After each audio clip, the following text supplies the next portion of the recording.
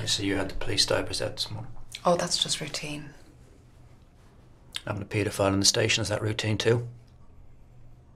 Now, don't bother lying, we saw him on the way in. Formal investigation into the allegations against Sergeant McConaughey will take place. But our priority now is to find your daughter. That is the most important thing. If it's your priority, why haven't you found her?